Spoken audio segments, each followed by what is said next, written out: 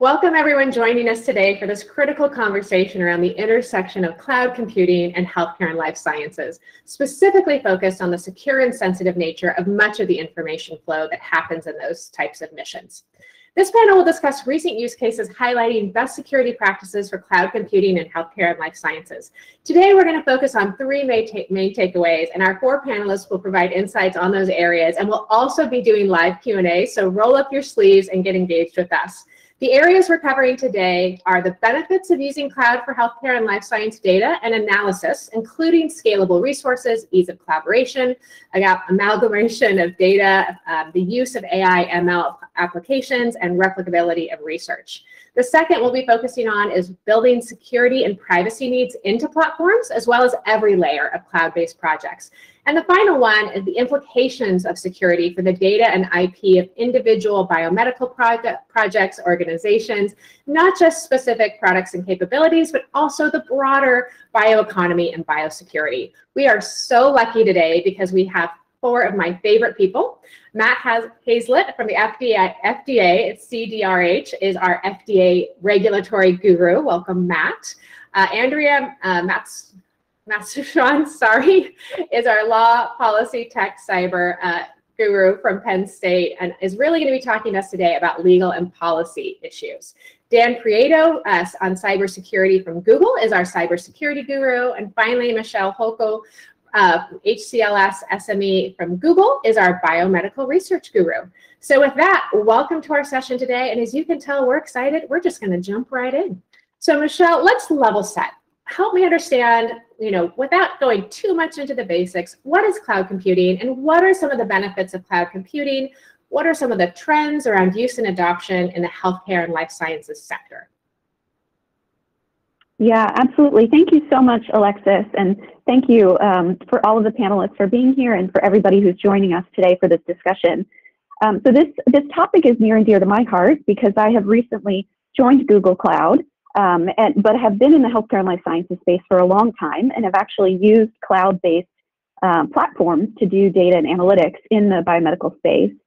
So basically, you know, cloud uh, cloud-based um, computing is just leveraging on-demand compute system resources, including storage, um, as well as compute, um, distributed teams sharing resources, um, and being able to build in economies of scale.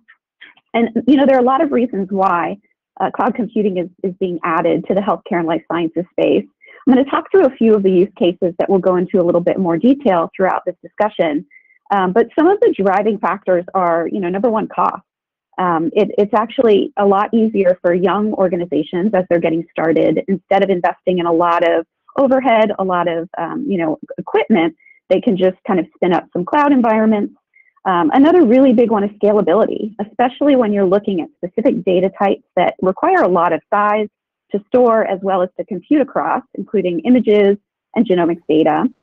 And then uh, a third uh, really important reason is the ease of collaboration. You know, one of the reasons, um, uh, one of the enablers for AI and ML, um, machine learning and artificial intelligence based studies is you have to have a, um, a, like a critical mass of data in order to make those types of studies possible. And so being able to really bring all of those types of data together across different organizations, across different laboratories, um, is really an enabling factor. Um, and then, you know, going along with the collaboration piece is reproducibility of research. Um, you know, there's uh, uh some types of, of crazy number where I think it's like 30 to 50% of research is actually not reproducible. Um, and so cloud is actually enabling a lot of that, uh, that, that type of a barrier where now, you know, if, if, your, um, if your data is in a cloud-based system that, you know, researchers and reviewers can access with the tools that you use, um, then they can go in and they can look at those, they can tweak some things and see if, if you know, your research results still make sense. So those are just some of some of the reasons um, why this uh, transition to the cloud, why we're seeing an increased transition to the cloud. So just to give you a few examples of what's in scope for this discussion, because this it feels like a very broad space to a lot of us, um, and and so it, it's kind of comforting to think about well, what are the what are the areas that we're going to think about and consider today? Um, so some of them are, are certainly the biomedical research space, which I've already alluded to, and this can be in the clinical, um, epidemiological, as well as biomedical or molecular space, including omics data. Um, so um, you know, again, some of the reasons why um, this is important is because of the data types, genomics and image data can be very compute heavy, um, as well as as um, as well as um, you know storage heavy. Um, and then another is the real world data or personal uh, personal generated data um, types. And so these are oftentimes coming off of devices that are being used either in the healthcare space in, as medical devices or in the health adjacent space. Um, fitness trackers come to mind. And these types of devices are, instead of generating single point of data, they're generating continuous streams of data. So it's actually, you know, a very interesting space because there's a lot of discovery to happen in terms of how do those continuous data streams relate back to the physiological state of the individual. Um, so there, there's a lot of interesting promise there, um, but it also means that it's a lot more important to make sure that those types of devices are secure um, and that those data streams and, and as well the analytic algorithms that are being uh, that are trans doing the translating of the continuous data into the real world um, insights that those are those are also secure and protected.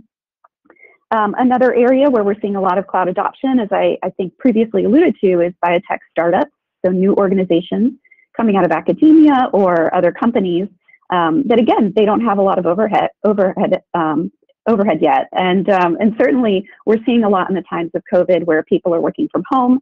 Um, so maybe you know they they have a work office space at home where they're they're doing a lot of their data analytics, and so the cloud makes that really easy so that you don't have to have a lot of um, hardware on site. And then uh, finally, um, hospital systems.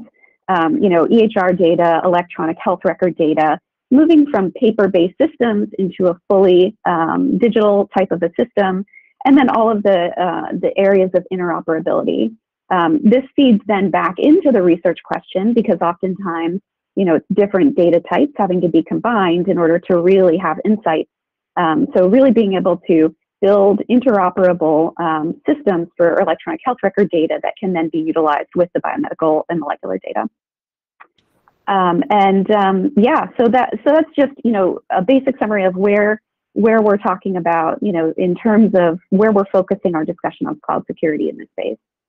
No, I appreciate that. And I think one of the things that I'm really hearing is that we have the potential, you know, to be sharing more information than ever, really to move at light speed, but we've got to be careful, right, as we do that for all of the reasons that you mentioned. I want to push this to all of you. So anyone jump in that that wants to, but what are some of the specific security challenges at the intersection of cloud computing and healthcare and life sciences? You know, are there examples or, you know, what can we learn from these in that idea of moving to light speed, but carefully?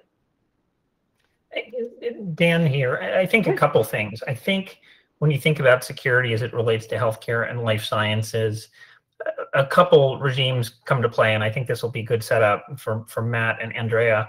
In that, you know, when you think a lot of times about just plain old information technology, let's not think health for a minute. A lot of times you're thinking about computers and data, but a lot of times that body of cybersecurity best practice can often be treated as separate from a privacy corpus uh, of sort of rules and regulations, particularly if you're not dealing with customer data.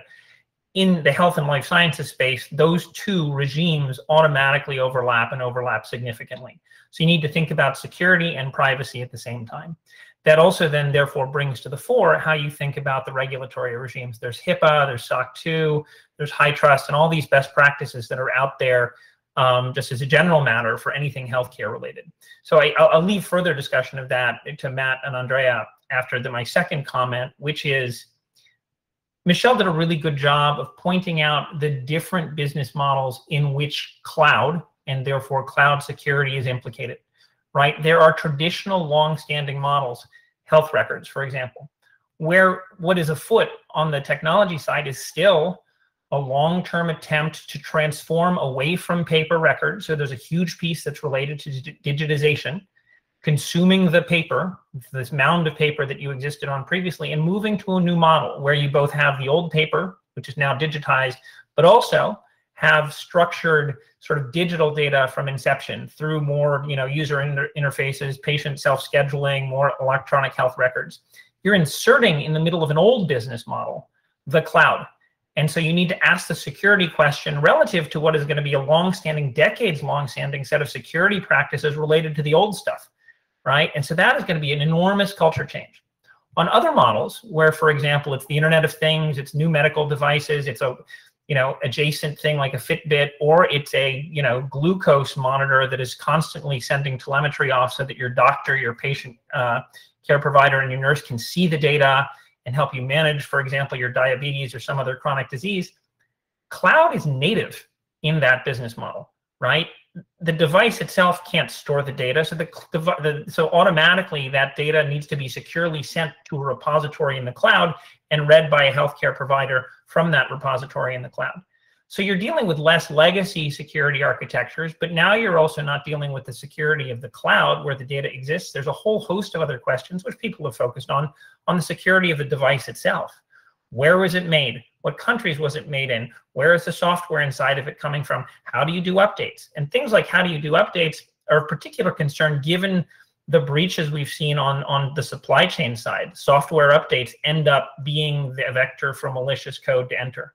And when you get to devices like that, it's no longer just an academic discussion, not even academic. It, it's beyond a discussion about is the data secure. It's a question as to whether the device is actually doing the right thing. Because there's a risk if data is um, uh, tampered with or incorrect, that all of a sudden, you know, a device that's doing dosing for you gives you the wrong dose or sets your heart rate if it's a heart uh, like a pacemaker at the wrong rate. So it's actually the equivalent for the physical body of the kind of um, um, uh, control systems that we've seen be of concern as relates utilities uh, water utilities, electric utilities, the shutdown of this meat processing plant, which started on the IT side, but you're starting to see con concern about control systems.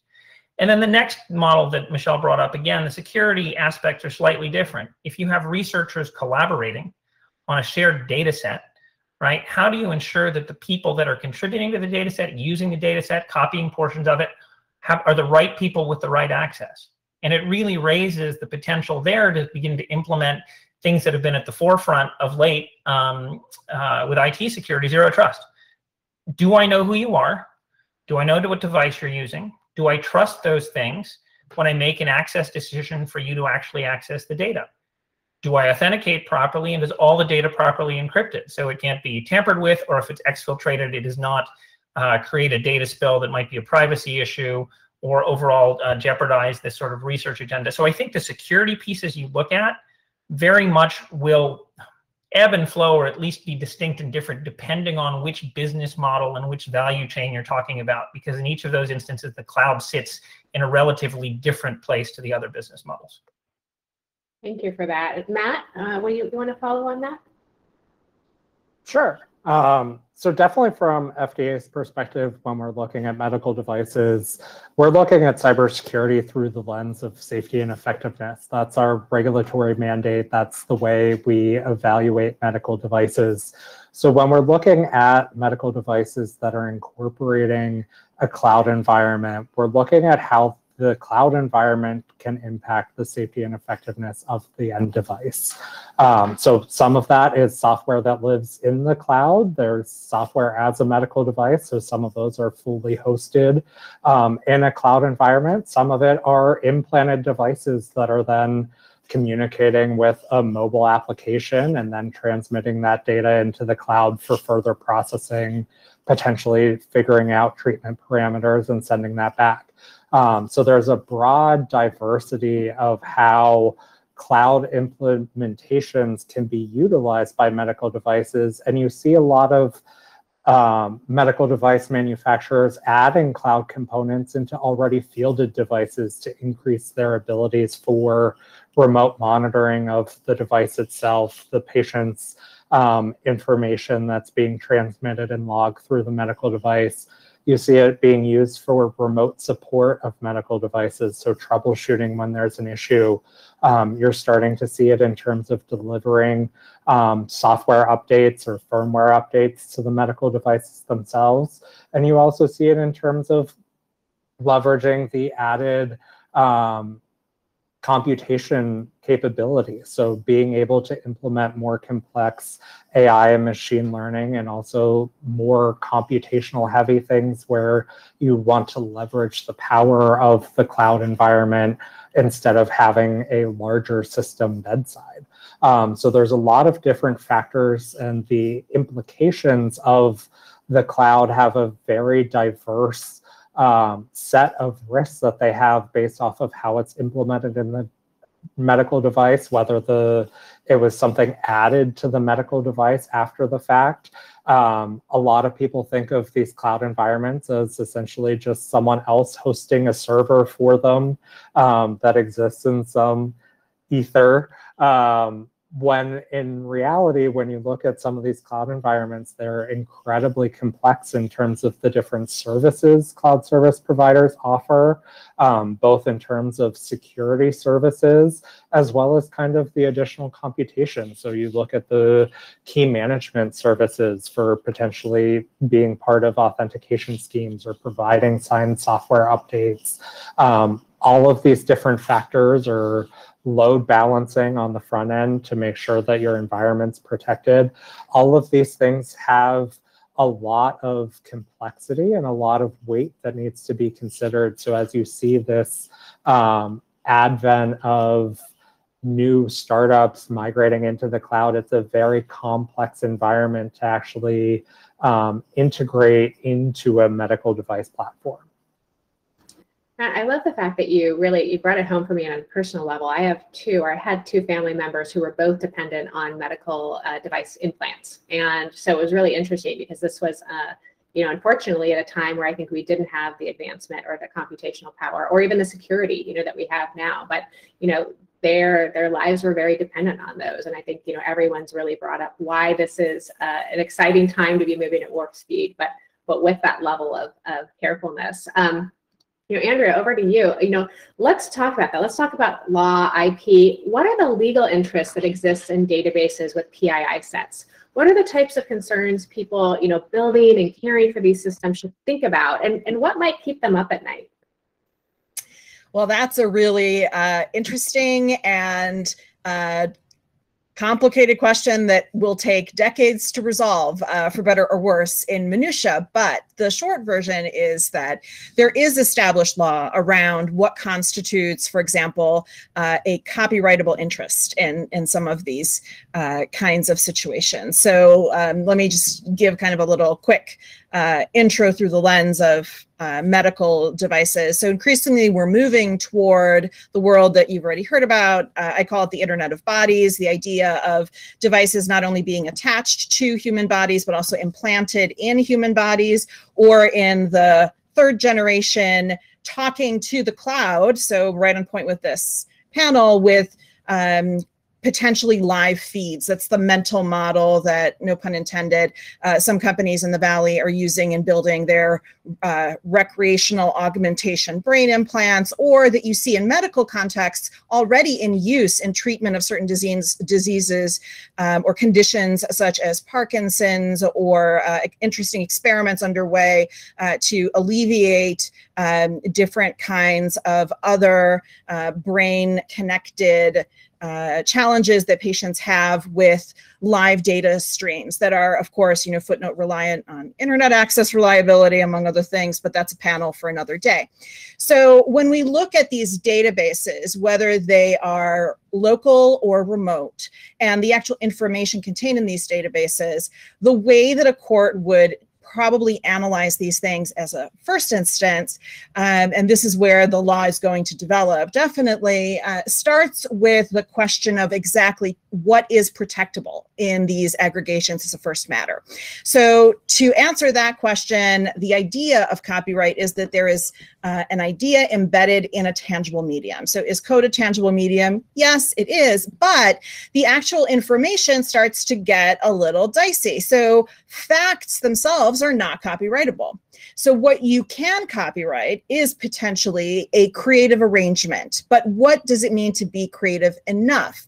Well, the leading case on point is one called Feist Publications Inc. v. Rural Telephone. And what it told us there is that the white pages, for example, even though it took a lot of effort to aggregate all of that information, that extreme sweat of the brow, that's not enough to by default out of the box give you a creative arrangement. So when we look at, you know, say dropping all this information into a spreadsheet or into a searchable database, that's probably in itself, I would guess, not going to be enough for courts to find that there's a protectable interest just in the information. Now, as we start to talk about derived information with each subsequent layer of derivation, I think arguably, arguably you have a slightly stronger case for copyrightability of those derived databases that are then creatively arranged uh, and used in those ways. Um, but the other piece of this that is I, that I still see done wrong all the time in uh, uh, legal contexts, even by otherwise sophisticated lawyers, is that the transfer of use and the licenses of these copyrights needs to be written in a very particular way. So there was a, a case uh, called New York Times v. Tasini that talked about the fact that the uh, bundle of rights that are comprised within the notion of copyright have a special digital component. And so, for example, the digital rights to use need to be transferred separately in any kind of copyright assignment. And that's something that, you know, it's, it's a little drafting point, but people still get wrong all the time. Um, so you'll have this battle over what is copyrightable, and then you'll have a battle over whether the right to use has been appropriately granted. And when we look at whether that right to use has been appropriately granted, we will increasingly see battles over dignitary interests, particularly in a world where end user license agreements are longer than war and peace. See a fun project called EULAs of Despair that my Penn State Pilot Lab um, is currently finishing up um, that creates lovely visual models of many of the uh, uh, most, um, shall we say, expansive EULAs on the internet. Um, so when you get into the world where the licensing is predicated based on this fiction that people understand what they're agreeing to, and then you have maximum repurposing of this information in ways that are not necessarily foreseeable to the person clicking yes, and you have no proof that anyone's actually read it, and it's longer than War and Peace, and, and, and, we start to get into a situation where the law is going to say, okay, brass tacks Nobody's reading this. Nobody understands what's going on. Nobody's meaningfully consenting to this. And particularly in a medical device context and in a world where there's health ish data being processed in the cloud, you start to have real concerns that we're moving in those instances potentially to a world where we border on uh, maybe doing less to help people and maybe sometimes doing more to um, put them at risk, depending on what the terms are and how things play out. And I should uh, caveat all of this, which I should have done at the beginning, that all of these opinions are mine and do not reflect any federal agencies with which I work. Um, there are multiple agencies. None of them have approved these comments. This is all me being law professor, engineering professor spouting off. Okay, um, so the, that's the lay of the land, and particularly as we get into a situation where there are multi-function devices, where there are um, opportunities for companies to create devices that are medical in one use but not medical in another use or they claim it's not medical. So like let's imagine a world where you're please don't let this device exist, where your artificial pancreas also streams music to your ears. Okay, one is clearly a medical use. The other one is not a medical use and one that I really hope nobody has thought of. So please do not make this device. Um, if they haven't, not, they have now. please don't, please don't make this device. But anyway, so that's a non-medical use. So we have there a really dumb example of a multifunction device. But in that world, you have multiple kinds of data streams being aggregated together by a single provider, potentially repurposed in various different ways. And then when you have database mergers across fields of activity, you start to see health-ish data showing up in credit report-ish information. And this notion of a social credit monitored society that's connected to devices embedded inside our bodies, that's not, not the best world we can build. I'll leave it there. And um, we'll come back to this hopefully later on. No, I appreciate that. And actually, to your point, my uh, my family member actually was suffering with Parkinson's, and so the implant was. And I remember very explicitly a long list of things for us to sign as as uh, as they were going under that surgery. And and to your point, uh, we had no idea what we signed. We just had hope, right? And so I do think it's really, you know, really critical.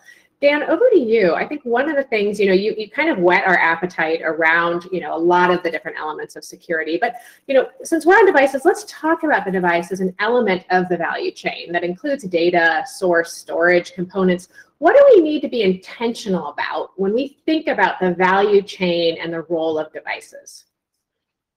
You know, I think you need to be intentional about sort of the aspects of the security life, life cycle, excuse me. Um, we talked about zero trust, and that really is how do you protect the device and protect the data, right? And that occurs through all the things we talked about in passing at the beginning, which is basically strong identity, multi-factor authentication, um, role-based access, not just role-based access for the person, but their machine. Is the device in good state. What's the device posture? Um, then there's the encryption of the data itself. Um, we also layer things on top, uh, like sort of um, default um, data loss prevention. So if, for example, a device or a cloud environment is leaking sensitive data, that's something we could notice quickly um, and, and automate the blockage of it or the masking of it. Um, and in addition, you know, for stuff that sits in Google Cloud, I think I, I would want people to have confidence in the fact that the infrastructure we've built. It's a proprietary global network. We're very attuned to um, how we manage our own hardware and software supply chain. Um, we build a lot of our own infrastructure. We lay our own undersea cables. And so it sits all those things I mentioned, strong identity, encryption, uh, proper authorization and access sits on top of a, a strong global infrastructure. So that's the protect piece. I think security in the cloud also gives one other capabilities that are going to be distinct from traditional approaches, you know, decades old approaches to IT security around a traditional data center. And one of them is really scale and analytics. If you think about the proliferation of medical devices and other IoT devices that are throwing off massive amounts of data, for the most part, a lot of organizations historically have not done a good job capturing, storing, analyzing, getting insights, and making decisions on all the machine data that their organizations are throwing off. But with cloud, it allows you really massive scale analytics to get end-to-end visibility um, into machine data. And so, for example, if you're a healthcare provider that's managing a deployed you know, a market of hundreds of thousands of deployed glucose meters, uh, heart monitors, whatever it is, you want to be able to see patterns in that data, to interrogate that data, identify anomalies, um, look for trends, and also proactively hunt in that data to see if there are bad actors or malicious code. And a lot of that is beyond the normal capability of a traditional security workforce, which tends to have an overproliferation of cybersecurity tools and not enough people. So in those cases, there's a flood of data, in fact, a tsunami of data, but that more data doesn't actually make you better at doing security. It actually makes you worse at doing security because it obfuscates things, right? So to counter that, you have to be able to have that massive scale analytics to proactively look for bad things, to baseline activities, to look for things that are abnormal, um, and so the data actually becomes your friend. And I think it's hard to do that with in-house data analytics platforms. I think cloud capabilities that scale up, scale down, and can really make storage and analytics much more cost effective um, and democratize that kind of analytics is one of the things on the security side from a visibility standpoint that the cloud does for you. I think the other piece, and that's sort of the detect piece. So we've gone over protect. I've just walked through sort of the detect piece. And then on the recovery side, whether it's electronic health records or sort of you know a couple years of data getting thrown off by these medical devices or a massive research database we've seen a massive uptick in ransomware. Um, and so there's the risk in general that people are afraid that that data is going to get um, you know forcibly encrypted and they can't access it or can't go back to a, a sort of valid and known um, accurate restore point. And I think that that's another area where the cloud can help you, really doing enterprise-wide data backup so that if that happens and you end up in a ransomware attack, you don't have to pay the ransom because you're confident that you have an overarching data strategy that is tuned with an overarching security strategy so that you know and are confident that you can go back to secure points in time of diff- earlier versions of your data that are clean from malware and haven't been tampered with. It's basically uh, strong and confident secure points. So again, I've sort of hit the protect, detect, and then that, that's the recover piece. And I think the cloud helps on all those fronts. Dan, I love that you're really introducing that that concept that we have to be uh, we have to be more ready for more things to happen in the world, right? And we have to have kind of some of those break glass or from a military parlance, kind of go bag, right? Not just strategies, but tactics to be able to respond and to not be in those positions. I'm actually going to jump Matt to you because I really want to continue this idea of you know uh, the fact that there has been you know recent. Uh, you know recent malware attacks and, and ransomware and things like that you know talk to me a little bit about, you know, what what that looks like. What do you think about that from kind of an FDA standpoint? And then Michelle, I'm going to uh, come to you, and Andrea, I'm going to come to you for a little bit of a, a, a prod more into the idea of kind of that personal, uh, the personal impact of a lot of this. But but Matt, talk to me a little bit about what what Dan said, and and also maybe a little bit about how how people make decisions around what cloud, uh, you know, and and how they go about that.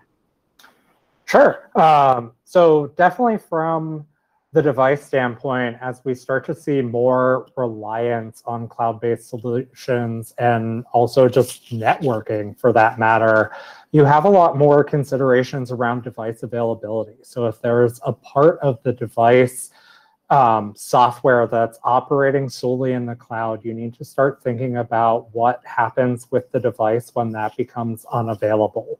Um, the different cloud service providers indicate that they have like 99 point whatever percent uptime.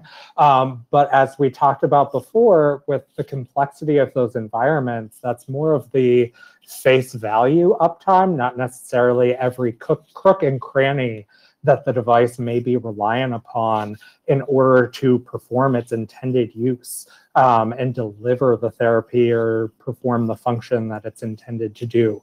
Um, so when we look at things where ransomware in a cloud instance can impact the availability of a treatment device, you start getting into real patient implications of delays of care um, where that reliance on that cloud-based data and that cloud-based computation um, when that's interrupted, whether that comes from something in the cloud itself, whether that comes from the hospital being impacted by ransomware and them severing their outward connections. There's a lot of different considerations for these complex systems of systems, medical devices, where you have a lot of these reliances, um, where you need to start thinking about how the end device um, that's bedside with the patient, that's implanted in the patient, are going to respond to those scenarios. So the incident response, both on the manufacturer side of how they're going to respond and address those situations, as well as what those manufacturers are telling their users of what to do in the event and what backup or fail-safe capabilities the device will have when that extended function is no longer available is something that needs to be closely considered.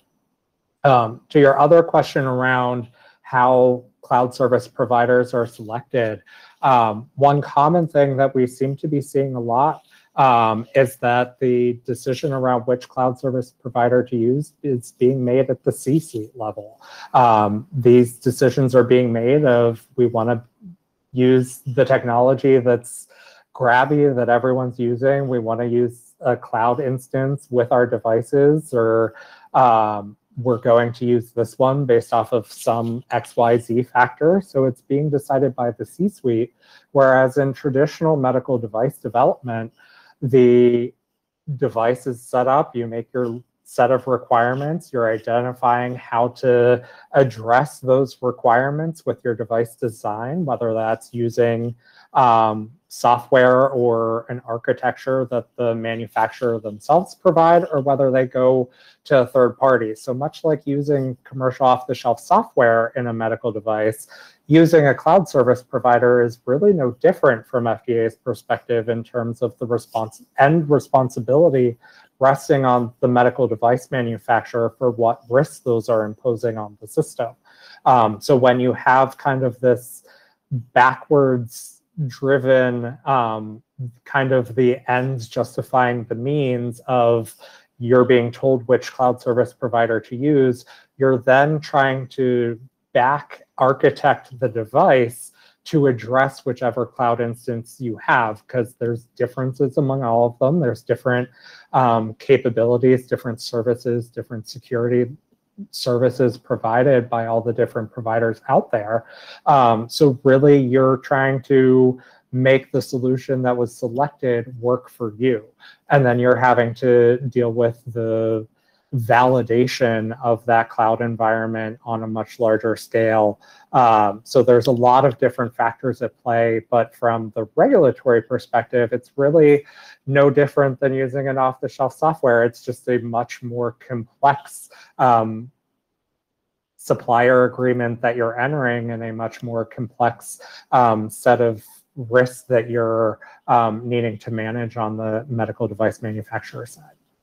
Well, I love what you're introducing really too is this idea that as as more things become cloud native, to Dan's point, that that not all clouds are the same, right? And that you know we might be seeing much more of a proliferation in this area faster than others around things like multi-cloud, right? Because in some ways, if I can be so bold, you know, why would we dumb down the device, right, or make it worse if just because we have you know a cloud that in essence only allows us to do so much versus being able to kind of have a multi-cloud approach. And the complexities maybe that you know that adds but to allow that device to be as secure or as sustainable or the information or its uptime to be as robust as you want it. I think it's a really a really great point and i hadn't thought about this kind of subject matter really being at the forefront of kind of that that multi-cloud or that cloud selection process being quite critical right to the performance of what someone actually experiences every day. I think that's that's spot on. Well, Andrea, take us there, you know, about what someone experiences every day. You know, so what about those of us who who use, you know, whose data is in this database? You know, what do we need to be thinking about when I when I went back in time and, and was signing away kind of medical device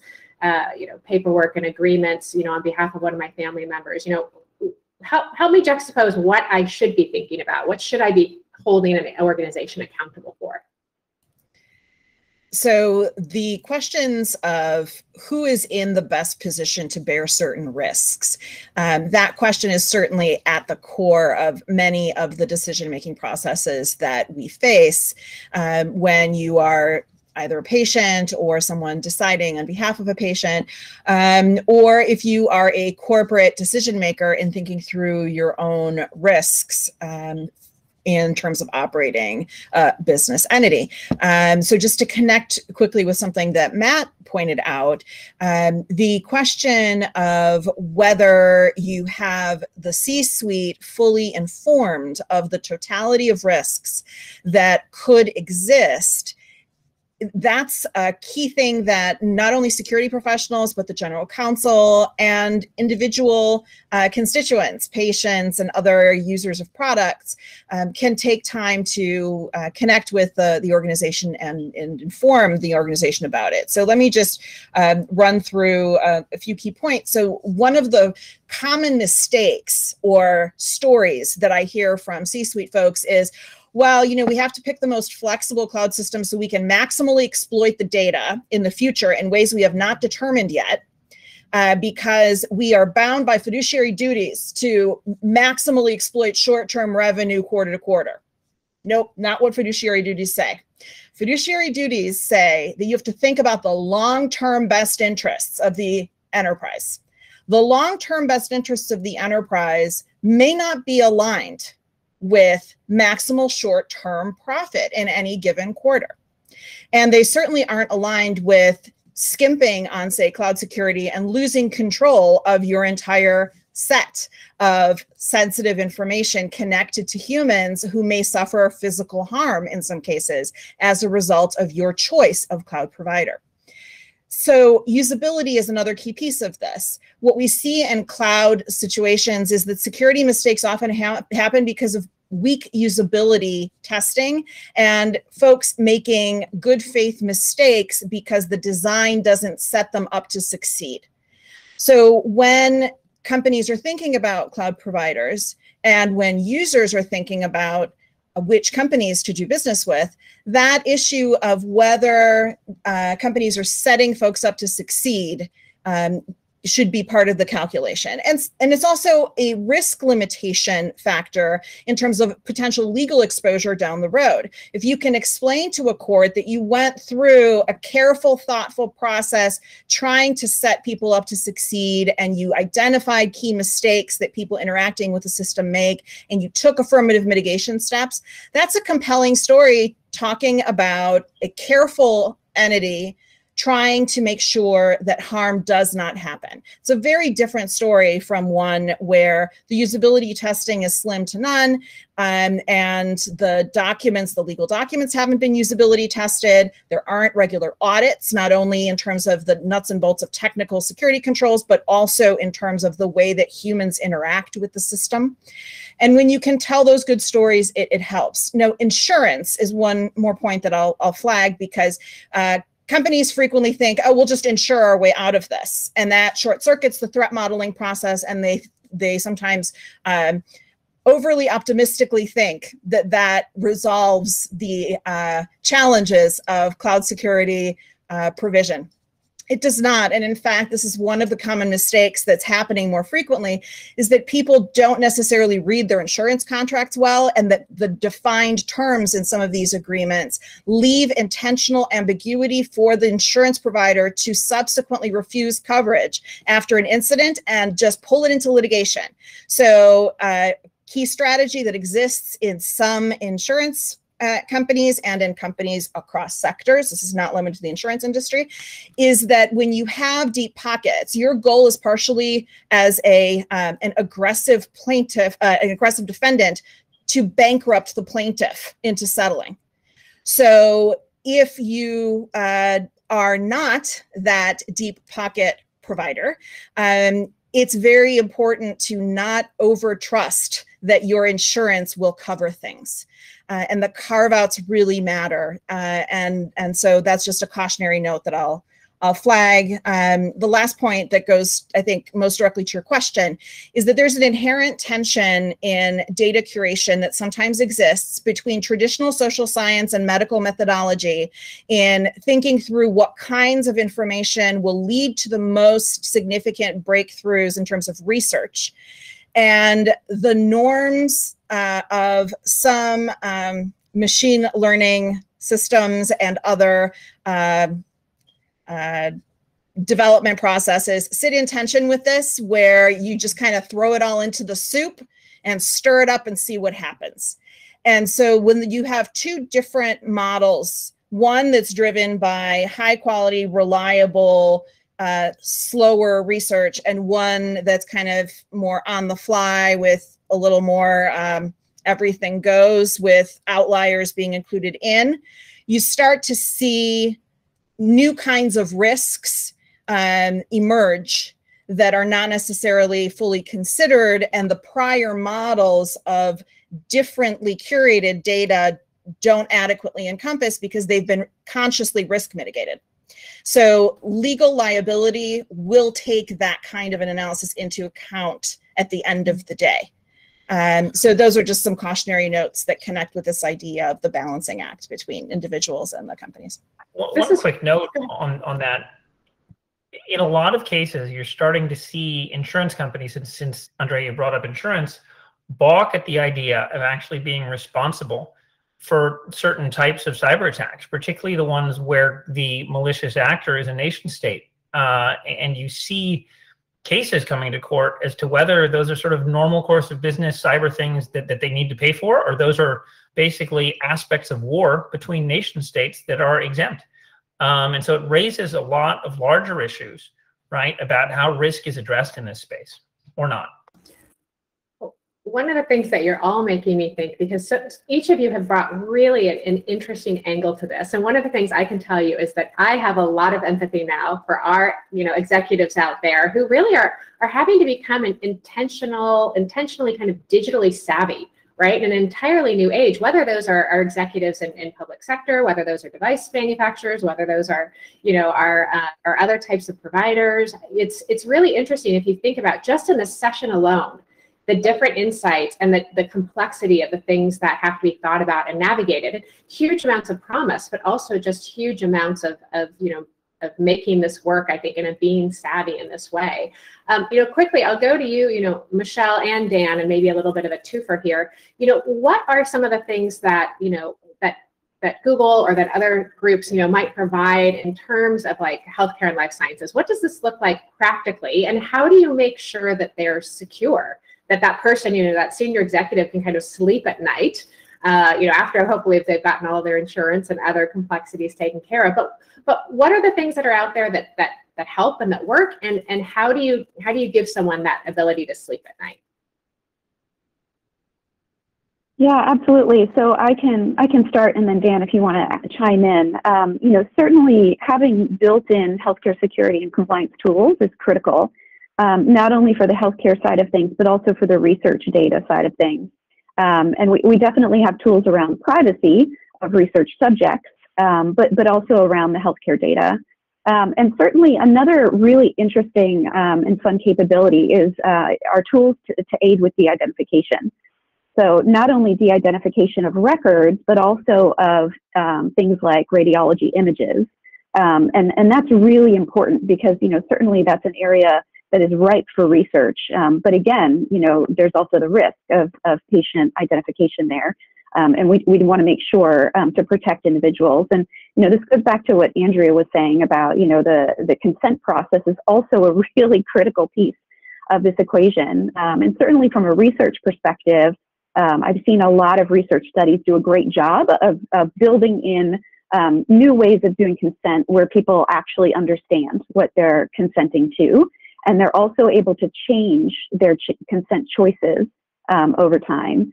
So I think that's a really great innovation. Um, and then going back to what Dan said earlier, um, the fact of the matter is, this is a, because the technology is evolving so quickly and because we're integrating the technology into this space so quickly, we have to be really thoughtful, not just to be compliant with current regulations, but also to be forward thinking about what are the actual security risks and how can we start to protect against them before we have to you know? So so really taking that um, taking that to heart taking that uh, that protection piece to heart i think is really critical.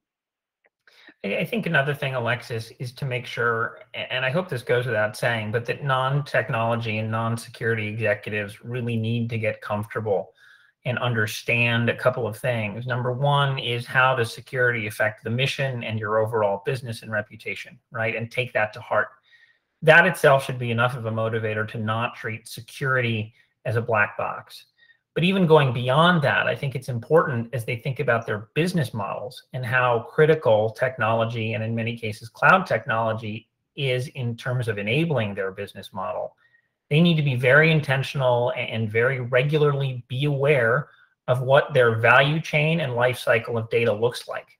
Again, whether it's electronic health records or device or research, right? They should understand, you know, how data is born or acquired, how it is handled, how it is protected, how it is augmented, what metadata gets created off of it, how it is passed on to other people, how people interact with it, how it flows back and forth between them and the customer, how it flows back and forth between employees and collaborators, right? And that actually simply being intentional about that, I think takes security out of what is too often a black box. Oh, it's the IT guys, it's over there. But it actually puts it in. I'm going to ask basic questions about how data change hand, changes hands and where it sits and when it sits in certain places. How is it protected, right? You can ask very lay questions but everyone needs an end-to-end mental model of how data flows through their enterprise. And if they do that, again, it really collapses what is often too much of an arm's length relationship or, sort of a, a chasm between tech and non-tech. And if they take that kind of ownership of it, they should be able to sleep at night because they're constantly asking tough questions about how all this stuff is handled and protected, number one. Number two, they have a mental model for how things flow and how it relates to their business success. And therefore, by taking ownership of it, right, it just arms them much more readily to not be surprised, to not be overwhelmed by a tech- technical security update that often is filled with jargon and it's a particular expertise, but they can ask questions and have be confident that they're getting the right answers because they have their own language to deal with these security things. I think if I don't know if you could hear it, Dan, but I think the whole cadre of public servant chief data officers are cheering in the background, right? This idea of really getting, you know, those C-level executives to really care about the data, these stewards of data. And really in some ways, you know, what I'm hearing from all of you is that in some ways, almost every organization is a data company now, right? No matter what you're doing, no matter what you're delivering, this idea of, of being a data company. And it was actually funny, someone said to me the other day, well, what is it that a, a public servant does? And, you know, I thought, well, you know, what I did was I, I took in the best information I could. I had the great privilege of trying to decide where those resources would go, right, based on that information to try to have, have great impact in the world. And then ultimately, I looked at more information to decide whether or not we had done it right, right, and what, how we might tweak it. And so, you know, what I love that we kind of brought brought together at the end of this is all of you really helping, you know, the folks out there understand that this is about, you know, information stewardship, right? This is about data stewardship. This is about that intentionality, that curiosity that we really all just have to have, you know, to be not only up to speed with all of the things that you raised today, each of you, but more importantly, to be champions, right? And to be pushing the envelope with that curiosity of are we doing it as safely as we can, as effectively as we can, you know, to the best stewardship as we can. So I'd love to ask each of you though, to we've talked about a lot of things people have to think about a lot of concerns out there. Hopefully people are going away with a lot of notes and hopefully a lot of questions for our q&a that will be coming up soon. But what i'd like to ask each of you to leave and it can just be you know a quick quick response. Ground us in the fact that this is still amazing technology that's letting us do amazing things. So you know for each of you what does getting this right look like what might be different about health, biomedicine? You know, what might those breakthroughs be in five years if we're really harnessing, you know, cloud in a way that is secure and appropriate and that we're really leveraging the power of cloud. Each of you maybe give me, you know, a quick summary of what's that thing you're hoping will be different because we've leveraged the power of cloud securely and appropriately. So I'm going to throw that to Michelle first. Absolutely. Yeah. So for, so for me, success, um, you know, really came very clearly over the last year when before coming on board to Google, I was working with CISA and the National Risk Management Center um, to protect the, the assets around COVID and developing the vaccine. Um, and, and really the goal there was to save lives um, because we knew that any delay in creating the vaccine was going to equal loss of life. And so it was a very, it was a very clear mission set where um, you know, the more secure we are in the healthcare and life sciences space, the more lives we will save.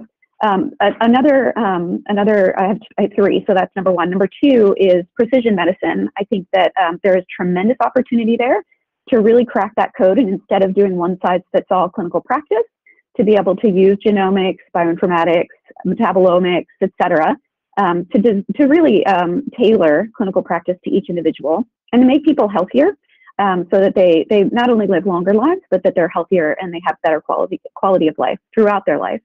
Um, and then the third is you know really protecting um, our nation's bioeconomy. Um, this is a critical sector, I think, of growth and um, and really of national security significance. So um, you know making sure that we're able to protect that and and and create create nice, uh, really amazing technology, you know, for for our country's security would be amazing. Well, Michelle, I know you're going to do a lot to contribute to all three of those things. Matt, I'll go over to you. What, what's your five-year hope for us? Oh, I'd say that definitely in terms of using the capabilities to be able to more closely monitor and um, respond to um, the evolving healthcare challenges that we have by leveraging these capabilities. Definitely the pandemic um, drove a massive push into more remote monitoring, more remote care, and the cloud definitely is a important piece of um, enabling that moving forward.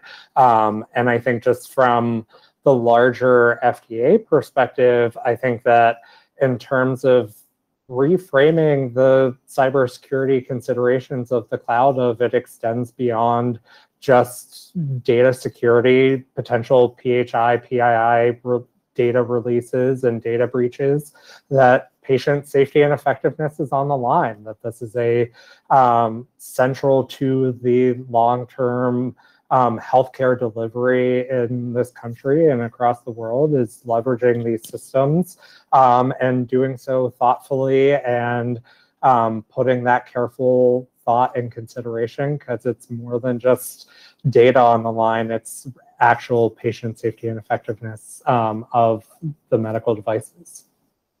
Well, I know I speak for everyone here that I am so glad that there are public servants like you and your colleagues at FDA that are thinking about these things and are making them bigger and helping us think and be more curious about these larger issues. So thank you for the way you're going to advance us in the next five years as well.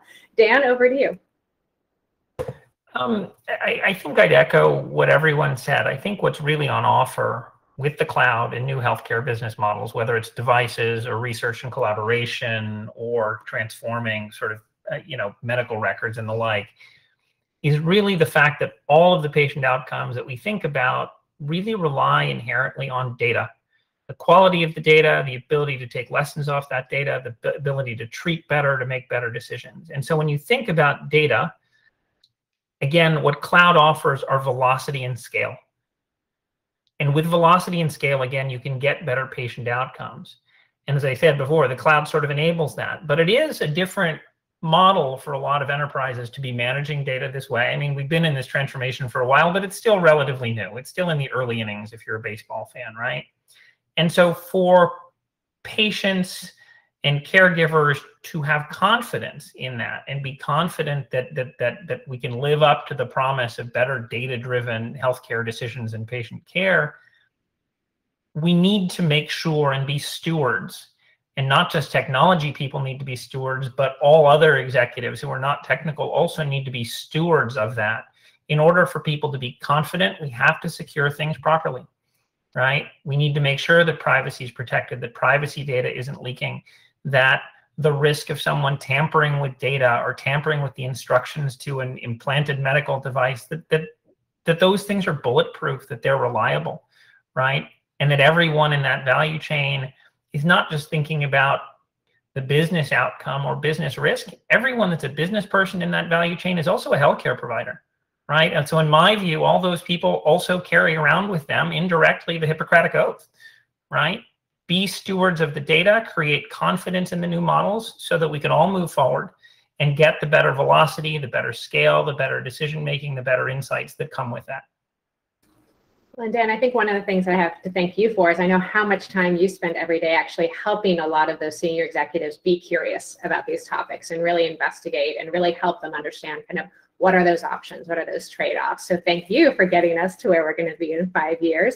And Andrea, bring us home. You have been so interesting in this whole panel. So I, I had to give you the last word. So please, five years, tell me what to expect. So uh, in five years, I hope that we will have been more thoughtful in some ways than we have been to this point about the question of metrics. So we talk about innovation progress, we throw them around as buzzwords, but actually the definitions of whether we have a shared view of what progress is becomes relevant. So legally, the word progress shows up in the Constitution, but as a technology uh, sector, broadly speaking, the question of what that next generation better world looks like is one that we don't spend enough time talking about. I don't think we're all on the same page. I think we're on very different pages in some cases of what that world looks like. So, progress, the word progress, if you look at the philosophy literature, it has three components. The first is a normative claim about what is that better life.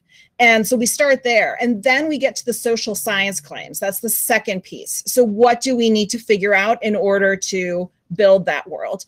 And the third piece is the implementation specifics. And we need to focus on each of those sets of questions in order to achieve some sort of next generation successful technology society. Um, so, that's the first thing. The secondary um, concern that's included is the question of whether we're building technology for people to help them achieve that good life or whether we're building technologies that use people toward other goals that are not necessarily about building that better world. Um, and um, as a uh, kind of quick uh, uh, shared homework assignment, I, uh, I think we might all have fun with uh, some beverages of our choice to start rewatching episodes of The Jetsons, which was one of my favorite um, shows growing up. And as I watch that show now through the eyes of security, I realized that um, what I remembered being kind of a fun utopian next gen tech world is actually a little bit of a dystopian hellscape where um, George Jetson gets sucked in by his treadmills and robots malfunction and people get ejected out of their flying cars all the time. So going back and looking at the lessons of history and thinking through which pieces of that um, model were good and which pieces of our historical models have been not so good. Um, and analyzing technologies with that critical eye i think it's really important. Um, super quick story 1933 world's fair on one side of the fairway there were incubators that were privately funded. And the story is fascinating. I, I, go through it in a future article um, but just um, tldr they were privately funded incubators that charged admission to let people see the babies, but did a fantastic job anonymizing the identities of the babies to the point that some of the babies, when they grew up, didn't even know that they were in those incubators. Meanwhile, hospitals at the time did not want to save those babies because they were deemed to be not worth saving. So you had this doc, this doctor question mark. His background is 2BD um, saving kids on a race blind, needs blind basis. Other side of the fairway, the eugenicists who subsequently were uh, uh, commented on as inspiration by Nazi scientists for quantifying human bodies in very particular ways um, and leading to better baby contests and other things that um, history looks back on with reproach and scorn. So um, uh, I'll, I'll, leave the social commentary there, um, but just on a very concrete legal point. In terms of evolving law, which is the question that companies always ask, how do we anticipate where the law is going? If you build with an eye on that better society, that better world, and you try not to skirt into the regulatory cracks, but instead just build in line with the, the paradigm that any regulator could potentially cover you if you think about it in terms of not causing harm, the medical ethic of do no harm. If you live by those words, you won't have regulatory problems in terms of the general direction um, and uh, decades later, you know, we have a very different approach to say incubators, which are state of, of state of the art uh, now and incorporated in regular settings, um, and they're highly regulated by the the FDA. But uh, nevertheless, uh, you know, the the goal of saving those uh, babies and doing it in a way with uh, attention to detail um, and care. remains, even though the regulatory system is very different today than it was back in 1933. This was amazing. Thank you all. I think one of the things that I'm walking away with, Andrea, from your your talk is the idea that we have to be curious, we have to be proactive, but we have to we have to do no harm, right? We've got to we've got to be as good as we can be together in all of this. So thank you all again for those of you watching. I hope you are just about to jump in with a million and one questions for this panel because they are awesome and they are uh, fearless as you've seen and happy to to take on this subject because we've all got to be curious and we've all got to figure this out together and we all have to do good. So thank you all so much for coming today. Thank you to the panelists and we will see you soon for q&a bye